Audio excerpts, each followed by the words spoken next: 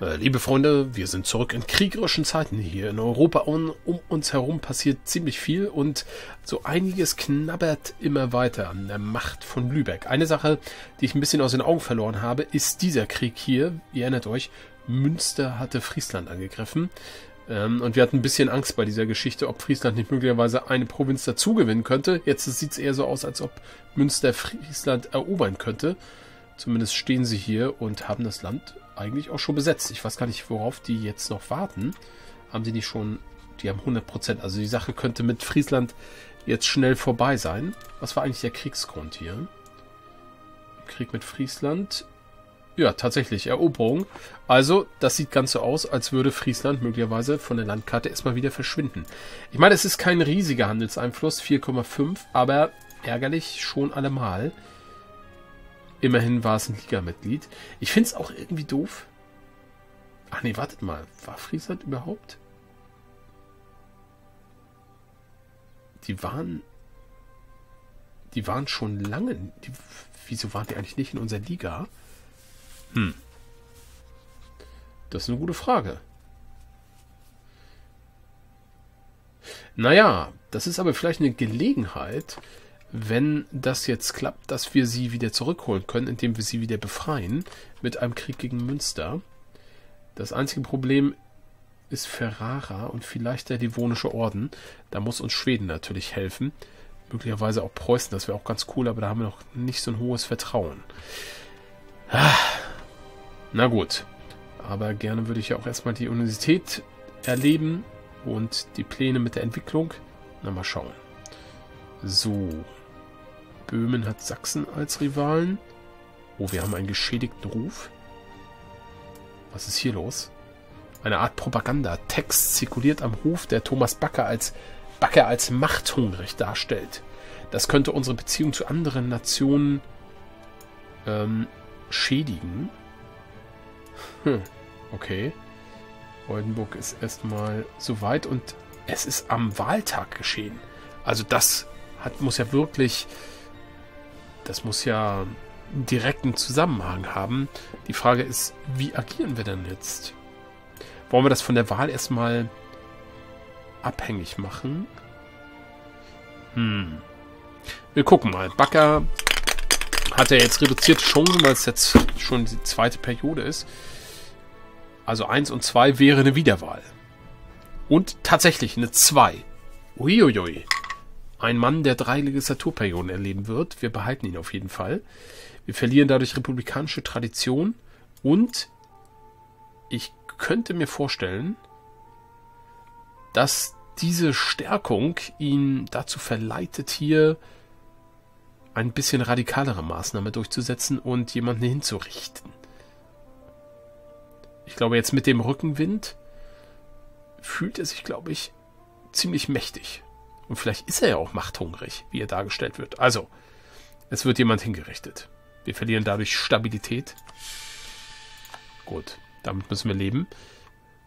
Wobei ich gemerkt habe, dass eine Zweierstabilität natürlich eine feine Sache ist, gerade auch mit Blick hier auf die, den Eifer. Weil wenn man Stabilität 2 hat, dann ist man im Frieden, hat man eine positive Änderung. Das heißt, man kann laufend hier äh, sowas aktiv haben. Das ist schon eine feine Sache. Nun gut, aber auf jeden Fall wird es spannend werden, welche nächste Eigenschaft sich der Backer jetzt hier, ja, also wie er sich jetzt hier weiterentwickelt. Ach so, es gibt übrigens eine nette Gelegenheit oder Möglichkeit, hier ähm, als Handelsmacht Diplomatiepunkte auszugeben, indem wir einfach den Merkantilismus fördern. Das ist immer gut für uns. Und so kommen wir nicht an die Grenze und können schön abwarten, bis die Universität fertig gebaut ist. So, Dänemark ist administrative Monarchie. Hier gibt es ein paar neue Herrscher. Die Kölner gestatten uns den Zugang. Okay. Pommern hat Hamburg als Rivale. Das ist nicht so schlimm. Wir müssen nochmal nach Köln gucken. Äh, nach Köln sage ich schon. Nach am 1. Januar, wie passend. Wo wir jetzt hier weiter Beziehungen verbessern wollen.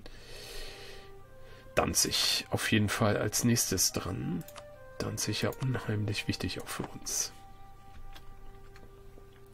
So, 150 Tage noch. Darauf warte ich ja jetzt echt so ein bisschen. bis die Universität gebaut ist. Aber was, warum schließen die hier keinen Frieden mit Friesland? Ich verstehe es nicht ganz. Sachsen hat jetzt ein Bündnis mit Dänemark, okay. Und unser General ist tot. Oh, da ist auf jeden Fall klar, wir brauchen einen neuen Mann. Wir haben gerade so die militärische Macht dafür. Machen wir das. Mal gucken, wer jetzt unsere Truppen anführt. Es ist Otto Filter. Ah, jemand wieder aus dem aus der Filter-Familie. Ja, auch gar kein so schlechter. Auch gar kein so schlechter. Wobei es natürlich ein Stern auch nicht so wirklich doll ist. So, was gibt's jetzt? Es gibt hier immer mehr Unruhe. Möglicherweise übertreibt es wirklich Thomas Backer mit seiner Macht, mit seinem Machtgier. Trotz Lübecks fraglosem Schwerpunkt auf den Handel behaupten viele der prominentesten Händler nun, dass der Syndikus sich weigert, ihnen Gehör zu schenken und stellen andere Interessen vor, die derer, die unser Land reich gemacht haben. Einer der Kaufleute, auf den wir uns für unseren internationalen Handel stützen, hat gedroht, überhaupt nicht mehr mit der Republik zusammenzuarbeiten. Obwohl wir sicher sind, irgendwann zu einer Übereinkunft zu kommen, so wird diese Sache doch unsere Zusammenarbeit stören, bevor sie beigelegt werden kann. Unkooperative Händler. Mmh, minus 15 macht die nächsten drei Jahre. Das wird Geld kosten. Mal gucken. Wir haben jetzt Einnahmen von plus 8,3, jetzt plus 7,51. Nun gut. Wie läuft diese Geschichte hier unten? Ja, da haben wir es. Tatsächlich. Also die volle Annexion ist gefordert. Ah, Münster, Münster, Münster. Wie sieht es denn aus? Österreich ja, richtig, natürlich. Als Kaiser. Oh, nee. Also vielleicht mit Venedig würde ich es vielleicht noch aufnehmen, wenn uns die Schweden helfen. Aber gegen Österreich können wir diesen Krieg nicht führen. Aber ich meinte, ist das nicht Reichsgebiet? Müssen die das dann nicht vielleicht wieder abgeben? Wird Österreich das nicht ver... Ja! ich lach mich tot. So, jetzt in Handelsliga einladen. Warum geht das nicht? Ach, die sind in der Handelsliga von Genua. Warum waren die jetzt so schnell? Das können die doch in dieser Sekunde erst gemacht haben. Das kann doch nicht wahr sein. Okay, Riga beendet Handelsmachtsabkommen mit Schweden. Kann das sein, dass sie sich da aus dem Bündnis rauslösen? Das wäre cool. Ja, hier, Friesland Handelssieger. Wie ärgerlich, wie ärgerlich.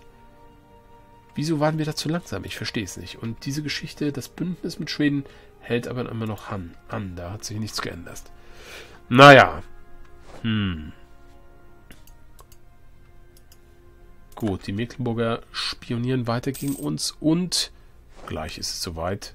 Köln übrigens auch. Die Universität ist gebaut worden, Leute. Yeah, sie ist fertig. Komm, die bewundern wir jetzt erstmal. Die bewundern wir. Da haben wir sie. Prima. Und jetzt können wir hier was tun. Wir bezahlen jetzt nur noch 95 anstatt, ich glaube, irgendwie bei 115 war das. Sehr schön. Und jetzt werde ich mindestens vier. Oh, jetzt will ich mal vorher nochmal eine andere Sache angucken. Sachsen-Lauenburg ist jetzt bei 100 Prozent. Mal gucken, inwieweit sich da was verändert durch diese Geschichte. Relative Stärke 100%. Ja, mal sehen. Also, wir werden mindestens vier Punkte hier hochgehen. Eins, zwei, drei, vier. Damit können wir einen neuen Gebäudeslot haben. Und gucken mal, ob das jetzt direkte Auswirkungen hatte. Hatte erstmal keine. Es ist wirklich minimal, von 100 auf 99.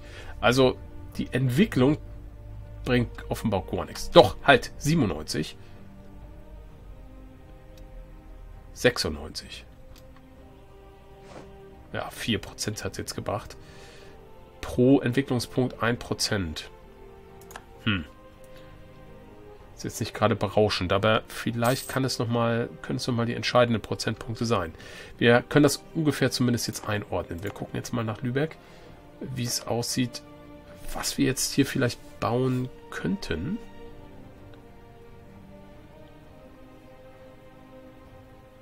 Eine Kirche mit Steuer für Steuereinnahmen 40 Prozent. Hm. Ist vielleicht nicht schlecht, aber so wirklich viel ist das auch nicht. Das würde vielleicht... Ach ne, die haben wir schon. Das geht gar nicht. Wir können eigentlich, glaube ich, nur diese Schiffsausstattung Manufaktur bauen. Oder ein Dock. Um mehr Seeleute zu produzieren. Ah, das ist doch auch nicht so toll. Ach so, ein Gericht wäre noch möglich. Das brauchen wir aber überhaupt nicht. Autonomie und Unterhalt ist auch alles Quatsch. Hm. Also richtig überzeugend ist das nicht. So richtig überzeugend ist das nicht, was wir hier im Moment bauen können.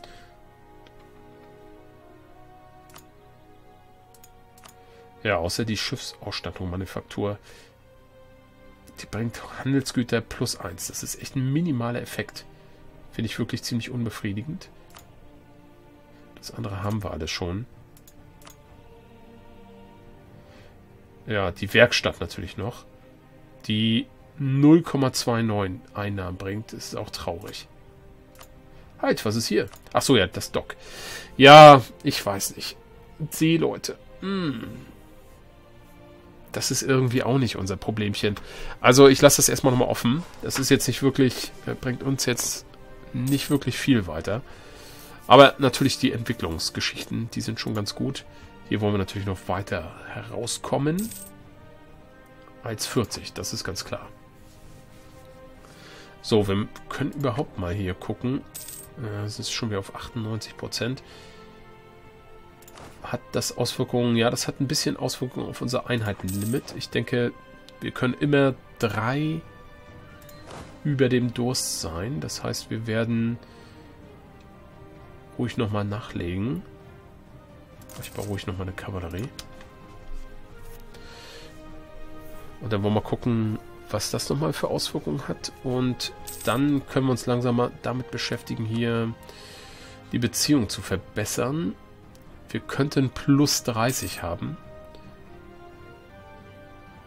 Das reicht noch Ewigkeiten nicht. Also da müssen wir noch wirklich viel, viel warten. Ehe dieser Malus da weg ist mit dem Markstatus. Also über 190, da, da können wir noch erstmal noch von träumen. Das ist weit weg. Das ist weit weg, Leute.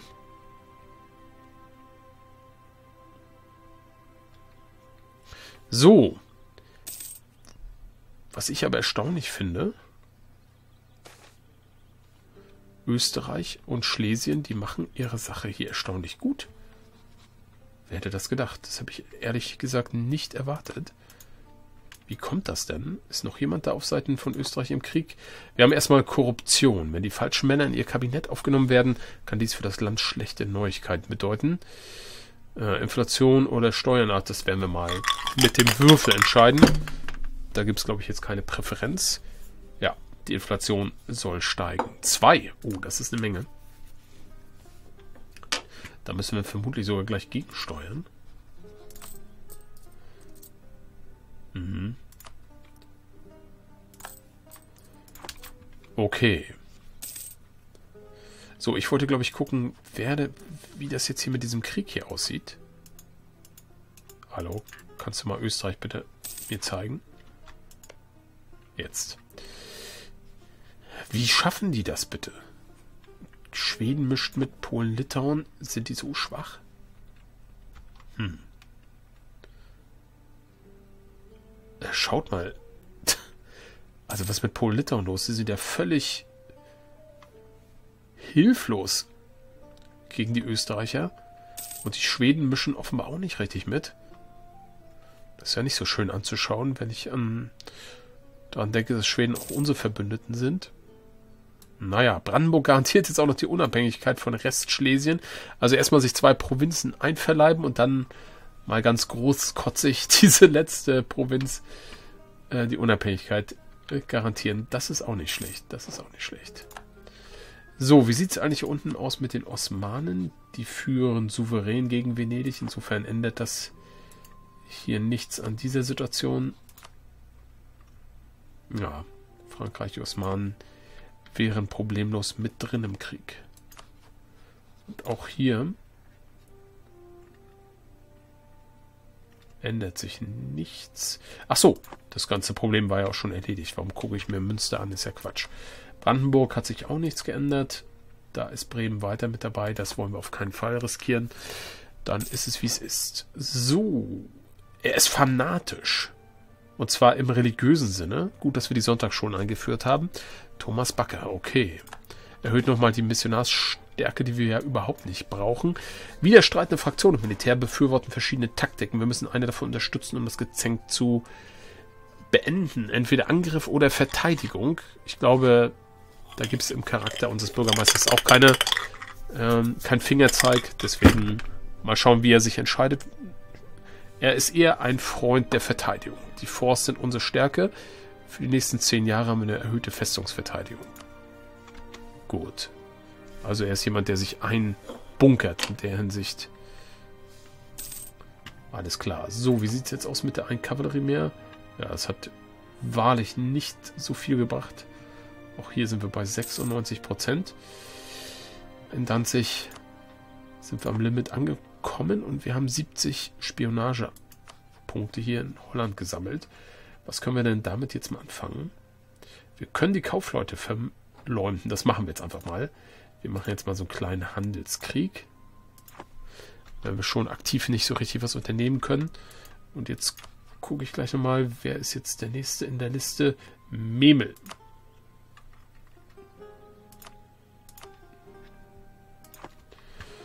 Da werden die Beziehungen verbessert. So, wir sind aber immer noch ganz schön vor der Zeit, 25 Prozent. Noch kein Grund, glaube ich, hier zu investieren mit den Machtpunkten. Das warten wir noch ein bisschen ab.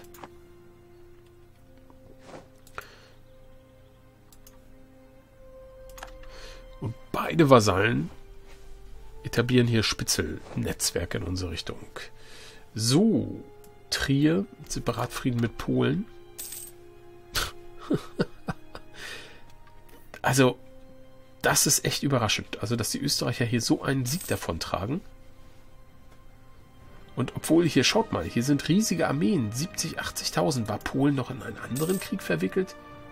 Ich verstehe das nicht. Was haben die gemacht? Jetzt kommen sie erst. Wo waren die denn? Auch die Schweden hier.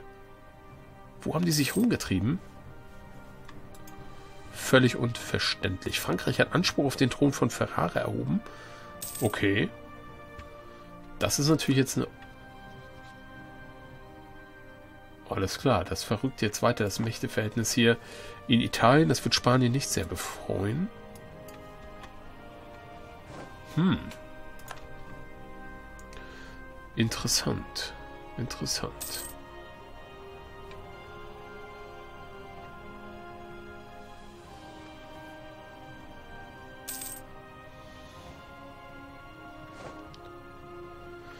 Ferrara hat Luca den Krieg erklärt. Ja, kleiner Einprovinzler. Haben die irgendwelche Bündnispartner?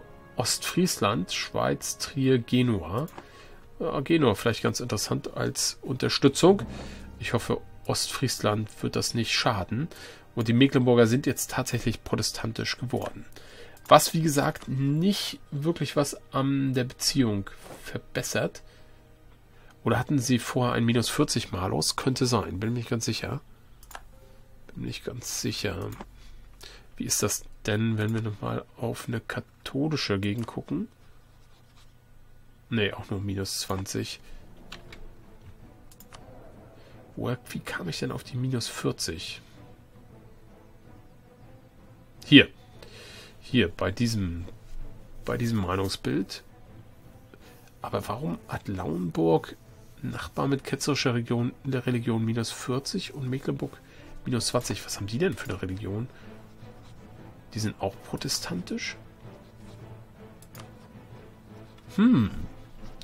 Das ist ja ulkig. Sehr merkwürdig. Das hat offenbar andere Auswirkungen dort. Keine Ahnung. Na gut. Es ist, wie es ist. So, ein neuer Doge ist dort und wir haben 1620 erreicht. Moral plus 10% ist natürlich interessant. Im Krieg könnte man im Zweifel wechseln, falls es nötig wird. Und jetzt haben auch die Dänen uns in den Verruf gebracht. Unsere Kaufleute. So, bei plus 15% sind wir. Ich denke auch hier noch kein Grund, übermäßig zu investieren. Wir sind immer ein bisschen sparsam, auch mit, unseren, mit unserem Einfluss und unserer Macht. Polen ist nicht mehr Großmacht, okay. Gut, also hier wird Polen vermutlich weiter verlieren. Keine, keine gute Zeit für Polen-Litauen. Erstaunlich überhaupt, dass das Bündnis noch immer Bestand hat bei diesen ganzen Krisen, den sie, die sie hier durchlebt haben. Und was ich auch interessant finde, Preußen hat noch überhaupt gar keine Ambitionen gemacht, irgendwas zu erobern. Da haben sie eine wirklich schlagkräftige Armee mit einer fantastischen Anführerin. Es ist immer noch Magdalena. Aber sie tun nichts. Sie tun nichts. Verbessern Beziehungen zu den Osmanen. Und das war's. Wahrscheinlich suchen sie, so wie wir, den perfekten Augenblick wo sie irgendwie eine ganz tolle Gelegenheit ergreifen können. Alles klar, Leute. Okay, jetzt sind die Dänen auch noch am Start. Und unterstützen Sachsen-Lauenburg. Also jetzt wird's, jetzt wird's natürlich langsam fett. Die Dänen sind im Bündnis mit Sachsen. Also ich glaube, jetzt werden wir mal einen Jetzt werden wir mal ein Exempel statuieren, dass wir uns das nicht gefallen lassen. Wir werden gegen Dänemark diesen Krieg führen. Und ich bin gespannt, ob das so funktioniert, wie ich mir das gedacht habe. Ach, wartet mal. Mecklenburg schließt ein Bündnis mit Sachsen-Lauenburg. Oh, das könnte jetzt eine ganz interessante Dynamik entwickeln. Aber das bringt ihnen hier nichts. Weil wir ja nicht gegen... Ah ja, okay. Eieiei. Interessante Situation. Hm. Wir könnten natürlich auch Sachsen-Lauenburg. Ne, dann wäre Österreich wieder mit im Spiel. Das geht natürlich nicht. Oh Gott, schon Schweden und Preußen.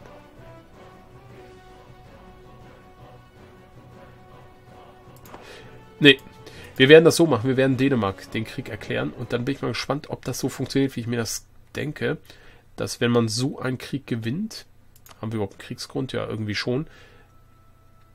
Das sind reine. Hm, ne, wir werden Rivalen erniedrigen, glaube ich.